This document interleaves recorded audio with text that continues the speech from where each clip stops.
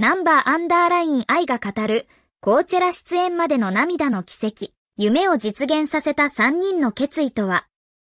ナンバーアンダーライン愛が世界に示した新時代の幕開け、彼らの挑戦が意味するものとは ?2024 年、アメリカの音楽フェスティバル、コーチャエラ。そこでジャパンのアイドルグループ、ナンバーアンダーライン愛が圧倒的なパフォーマンスを見せつけた。メンバーの主平野、人騎士、諸平霧島は、この舞台に立つことができただけで感動に包まれていた。しかし、ファンの視点から見ると、彼らの素晴らしい演技とストーリーテリングこそが本当の見どころだった。ナンバーアンダーライン愛は、コーチャイラに初出演ながらも観客たちを魅了し続けた。まるで、その舞台が彼らのライフワークのような光景だった。観客たちは熱狂し、ナンバーアンダーライン愛のパフォーマンスに酔いしれていた。海外のステージでナンバーアンダーライン愛が自身のアイデンティティを遺憾なく発揮したのは、まさに歴史的瞬間だったと言えるだろう。ファンの視点から見れば、メンバー個人の姿にも注目が集まった。例えば、シュヒラノはステージ上で圧倒的な存在感を放っていた。彼の表情からは、夢の舞台に立てた喜びと感動が溢れ出ていた。一方、人気士は少し遠めの場所から同じように興奮と喜びを表現していた。諸平霧島も彼なりのリラックスした立ち位置からナンバーアンダーライン愛の活躍を見守っているようだった。こうしたメンバー個人の姿はファンにとって印象的だった。なぜならライブ本番という緊張の中で彼らが自分らしさを発揮できていたからだ。特に人騎士の遠目の立ち位置は、ナンバーアンダーライン愛のメンバーとしての責任感と、個人としての余裕さを感じさせてくれた。また、ライブ後の SNS 投稿も検閲できない。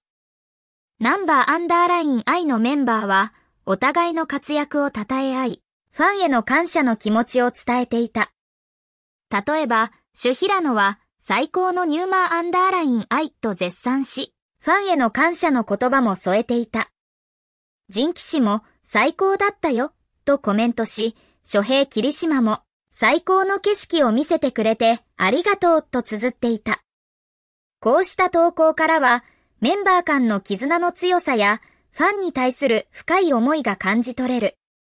グループ全体での達成感と喜びが溢れ出ているのがわかる。ステージ上で輝いていた彼らの姿が SNS 上でも共有されたことで、ファンにとってより一層の感動と共感を生み出していた。そして何より、この舞台を通して、ナンバーアンダーライン愛はファンに新しい景色を見せることができた。これまでのナンバーアンダーライン愛の活躍を知るファンにとって、コーチャーラでの圧倒的なパフォーマンスは、格段の驚きと喜びを与えてくれたに違いない。日本のアーティストがアメリカの代表的な音楽イベントに出演し、世界を魅了するというこのシーンは、まさに新しい景色だったのだ。これからナンバーアンダーライン愛は、さらに飛躍していくことだろう。コーチャーラでの経験を糧に、今後のさらなる活躍が期待される。そして、ファンにとっても、この新しい景色は、ナンバーアンダーライン愛の未来がさらに明るくなることを予感させてくれる。このように、コーチャエラ2024でのナンバーアンダーライン愛の活躍は、メンバー個人の姿やグループの絆、そしてファンとの絆をも感じさせてくれた。まさに、新しい景色を切り開いた瞬間だったのではないだろうか。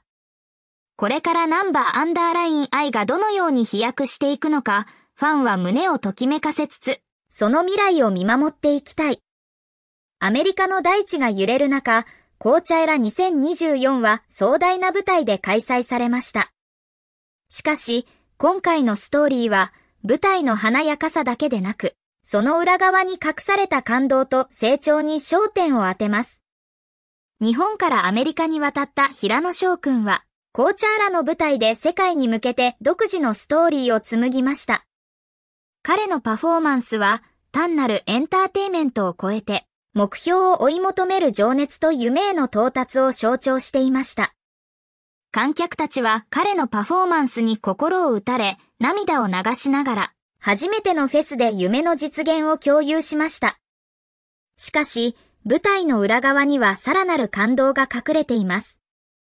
将軍や彼の仲間たちが一緒に努力し、困難を乗り越えてきたこと。そして、その努力が結実し、夢の一歩を踏み出す瞬間が、彼らのストーリーの核心です。岸くんや仁くんも、翔くんと共に舞台を彩り、観客たちに感動を与えました。彼らの絆は、単なる友情を超えて、共に目指す未来への確固たる信念となりました。紅茶ラの舞台は、ただのイベント以上の意味を持ちます。